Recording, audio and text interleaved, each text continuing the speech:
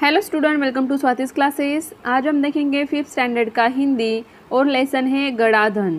तो देखिए, इस लेसन में आप एक, आपको एक छोटी सी स्टोरी दी है जिसमें एक जो रामदीन नामक किसान थे, उन्होंने अपने चार बेटों की क्या ली है, यहाँ पे परीक्षा ली है। और किस तरीके से उन्होंने परीक्षा ली, या फिर गड़ा धन मीन्स क्या, कहाँ पे गड़ा हुआ धन था, ये सब हम इस लेसन में देखने वाले हैं। सुंदरपुर गाँव में रामदीन नामक किसान रहता था, उसके चार बेटे थे। तो देखिए, सुंदरपुर गाँव था, उसका ये किसान था जिसका नाम था रामदीन और उसके कितने बेटे थे? चार बेटे थे। रामदीन स्वयं तो बहुत परिश्रमी था, पर उसके चारों बेटे बड़े आलसी थे। तो देखिए, जो किसान था रामदीन, वो खुद परिश्रमी था, मीन्स मेहनत करता था, अपने खेत में जाके फ़सल उगाता था, लेकिन उसके जो चार बेटे थे, वो आलसी थे, वो काम नहीं करते थे। हर समय इधर उधर बैठकर गप्पे मारा करते थे। रामदीन उनके इस अल्लड़पन से परेशान था। अल्लड़पन मीन्स क्या? कि उन्हें अपने कर्तव्य की यहाँ पे समझ ही नहीं थी कि हमें क्या काम करना चाहिए। वो सिर्फ़ अपना टाइम वेस्ट करते थे इधर उधर बैठ के आराम से सिर्फ़ गप्पे मारते थे। तो इसके कारण उस चारों बेटों के जो पिताजी थे रामदीन, वो परेशान हो चुके थे कि बच्चों को हम लोग किस तरीके से समझाएँ कि उन्हें अपना काम समझ में आ जाए। उसे हमेशा बेटों के भविष्य की चिंता सताया करती थी, क्योंकि अभी अगर उसके बेटे बड़े हो गए हैं तो उनको खेत में काम करना चाहिए था। लेकिन अगर वो काम नहीं कर रहे थे तो इससे क्या होगा कि जो पिताजी है वो क्या हो जाएँगे? परेशान हो जाएँगे कि बच्चों का भविष्य क्या होगा? अगर वो काम ही नहीं करेंगे आगे जाके तो इनको कौन खिलाएगा? वह दिन रात यही सोचा करता कि बेटे, अपना पेट कैसे पालेंगे? एक रात वह इन्हीं विचारों में खोया था। तभी उसकी पत्नी ने झिझकते हुए उसे एक उपाय सुझाया। तो देखिए, माता और पिताजी दोनों भी जब बैठे हुए थे, दोनों भी इसी बात को सोच रहे थे कि हम अपने बच्चों को कैसे समझाएँ कि आगे जाके ये अगर काम नहीं करेंगे तो इनको कौन पालेगा? इनको खाना कौन खिलाएगा? तभी क्या हुआ कि जो पत्नी थी, उसने झिझकते हुए झिझकते हुए मीन्स क्या? थोड़ा सा डरते हुए एक उपाय सुझाया। उपाय सुनकर वो कुछ देर सोचता रहा, फिर एकाएक खुशी से उछल पड़ा। तो वो उपाय क्या था, वो आगे हमें समझ में आएगा। अगली सुबह रामदीन ने अपने चारों बेटों को बुलाकर कहा, मैं और तुम्हारी माँ अब बूढ़े हो गए हैं। हम दूर तीर्थ यात्रा पर जा रहे हैं। मैंने खेत में धन गाड़कर छिपा रखा है। यदि कोई ज़रूरत पड़े तो उसे निकाल कर उपयोग कर लेना।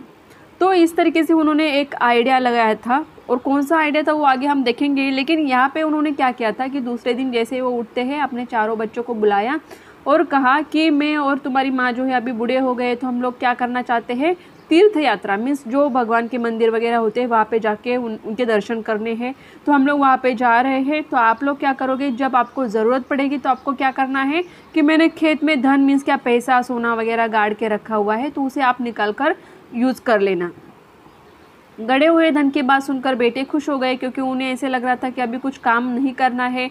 बिना काम किए ही जब भी हमें ज़रूरत पड़ेगी धन निकाल लेंगे और फिर जो भी हमें चाहिए वो करेंगे। उन्होंने अपने पिताजी को खुशी खुशी तीर्थ यात्रा पर जाने के लिए कह दिया क्योंकि उन्हें ऐसे लग रहा था कि चलो अभी सब कुछ ठीक है। हमारे पास धन है जो पिताजी ने गाड़ के रखा है, ज़मीन के अंदर जब चाहेंगे वो निकाल लेंगे। वे मन ही मन खुश हो गए कि अब कुछ दिनों तक पिताजी का बंधन भी उन पर नहीं होगा। क्योंकि पिताजी घर में रहते हैं तो क्या होता है थोड़ा सा तो बंधन हर बच्चे पे होता है कि काम में ऐसे करो या फिर काम करना चाहिए। और इनके तो चारों बेटे जो थे कुछ काम ही नहीं करते थे तो पिताजी जो थे बार बार उनको बोला करते होंगे। तो इसीलिए उन्हें ऐसे लगा कि चलो अच्छी बात है, पिताजी कुछ दिन के लिए गाँव चले गए या फिर तीर्थ यात्रा पर चले गए हैं तो हम लोग अभी क्या है? मुक्त है। रामदीन के जाने के बाद कुछ दिनों तक तो सब कुछ सामान्य चलता रहा, पर उसके बाद, देखिए यहाँ पे आपको पिक्चर दिया है तो इस तरीके से वो दोनों भी क्या करते हैं? तीर्थ यात्रा के लिए निकल जाते हैं और चारों जो बेटे हैं वो घर पर रहते हैं।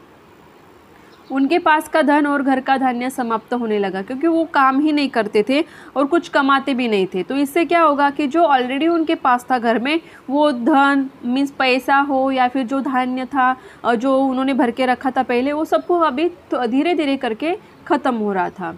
अब चारों भाइयों को चिंता हुई उन्हें अपने पिताजी की कही बात याद आ गई कि ज़रूरत पड़ने पर खेत में गड़ाधन निकाल लेना है। अभी धीरे धीरे करके पैसे भी ख़त्म हो रहे थे धान्य ख़त्म हो रहा था। अभी उनको याद आया कि पिताजी ने कहा था कि जब भी आपको ज़रूरत पड़ेगी तो क्या करना है कि खेत में जहाँ पे धन मैंने छुपा के रखा है या फिर गाड़ के रखा है, उसे निकाल लो और फिर अपने लिए उपयोग में लाओ। उन्होंने रात के समय खेत की खुदाई का काम आरंभ किया, क्योंकि उन्हें लग रहा था कि अभी रात में करेंगे तो किसी को दिखाई नहीं देगा, क्योंकि उन्हें धन निकालना था। वे दो तीन रातें खेत को खोदते रहे, पर कहीं भी उन्हें गड़ा हुआ धन नहीं मिला, क्योंकि एक्चुअल में वहाँ पे धन था क्या? या फिर धन नहीं था तो फिर क्या था वो हम देखेंगे। तो उन लोगों ने दो से तीन रातों तक तो क्या किया? रोज़ रात को जाके वहाँ पे खोदते रहे खेत में, लेकिन उनको जो धन वहाँ पे छुपाया था वो नहीं मिला। रात भर के परिश्रम से वे बहुत थक गए थे। जब सुबह बहुत निराश और हताश होकर वे चारों अपने घर लौट रहे थे, तभी रामदीन के परम मित्र हरिनाथ ने पूछा तुम सब थके हुए क्यों हो?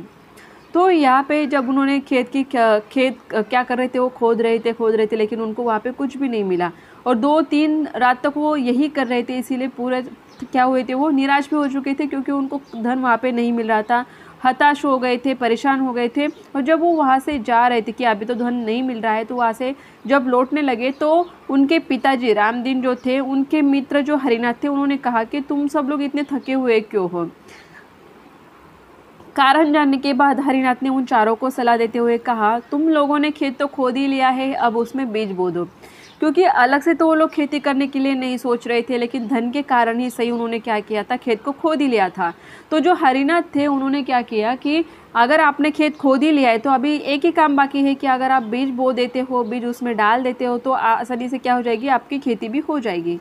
चारों भाइयों के उदास चेहरों पर खुशी की लहर दौड़ गई, क्योंकि उनको ये समझ में आया था कि अभी इतना तो काम कर ही लिया है तो बीज भी बो देते जिनसे हम लोगों का फ़ायदा हो जाएगा। उन्होंने हरिनाथ के कहे अनुसार ही किया। उन्होंने क्या किया? बीज बो दिया, जो भी उन्होंने खेत को खोद के रखा था, उस मिट्टी में बीज को बो दिया। खेत में नन्हे नन्हे अंकुर निकल आए, उन चारों के मन में उत्साह जाग गया। वे निराई गुड़ाई करने लगे। मीन्स जो खेती के काम होते हैं, बीज बोने के बाद वो अभी धीरे धीरे काम करने लगे थे। फ़सल बहुत अच्छी हुई क्योंकि उन्होंने मेहनत की थी, काम किया था तो फ़सल भी अच्छे से आई थी।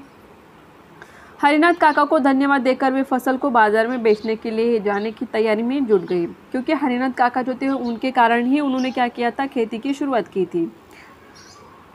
उसी समय तीर्थ यात्रा से रामदीन और उनकी पत्नी लौट आए। माता पिता के आते ही बेटों ने उनके चरण स्पर्श किए। गाड़ी में लदे अनाज के बोरे देखकर रामदीन ने कहा, अब तुम्हें खेत में गड़े धन का राज समझ में आ गया होगा। मीन्स यहाँ पे उन्होंने क्या किया था? अपने बच्चों को बोला था कि आपको खेत खोदना है, वहाँ से धन निकालना है। लेकिन एक्चुअल में धन कौन सा था? कि जो फ़सल उगाते हैं किसान, वही उनका असली धन होता है। और उनके चारों जो बेटे थे, वो काम करने के लिए तैयार नहीं थे। तो उन्हें धन के बारे में जब पता चला, तब जाके उन्होंने खेत को खोदा था। वहाँ पे बीज लगाया, उसके बाद उन्होंने फ़सल निकाली थी। चारों ने सिर हिलाकर स्वीकार किया और कहा हाँ पिताजी, अब हम यही भी समझ गए हैं कि, यह भी समझ गए हैं कि जीवन में परिश्रम के बिना कुछ भी संभव नहीं है। कहीं पर भी ज़मीन में आपको डायरेक्टली कोई भी सोना या धन नहीं मिलता है। अगर आप मेहनत करते हो, परिश्रम करते हो, तभी जाके आपको कोई भी काम हो, खेती हो या फिर कोई और भी काम हो। जहाँ पे आप परिश्रम करते हो, मेहनत करते हो हार्डवर्क करते हो, तभी आपको कुछ ना कुछ मिलता है। परिश्रम ही धन कमाया, परिश्रम से ही धन कमाया जा सकता है। तो बच्चों को यहाँ पे समझ में आ जाता है कि अगर हमें धन चाहिए तो उसके लिए काम करना ज़रूरी है। और चारों बच्चे फिर खेती करने लगते हैं और उन्होंने वहाँ पे काफ़ी अच्छा अनाज भी उगाया था। इस तरीके से आपको ये छोटा सा लेसन दिया है, जिसमें छोटी सी स्टोरी दी है। काफ़ी अच्छी है, जिससे आपको ये सीख मिलती है कि परिश्रम करना ज़रूरी होता है। अगर जब आप कोई भी काम करते हो तो आपको दिमाग में रखना है कि आपको मेहनत करनी होगी। जैसे कि आप लोग स्टूडेंट हो तो आपको काम क्या है? पढ़ाई करना। अगर आप पढ़ाई करोगे तो ऑब्वियसली आपके मार्क्स अच्छे ही आएँगे। वही आपका परिश्रम होगा और मेहनत का फल आपको अच्छा मिलेगा। तो आई होप स्टूडेंट आपको लेसन अच्छे से समझ में आया होगा। अगर आपको वीडियो अच्छी लगती है तो वीडियो को लाइक कीजिए और चैनल को सब्सक्राइब नहीं किया होगा तो सब्सक्राइब ज़रूर कीजिए।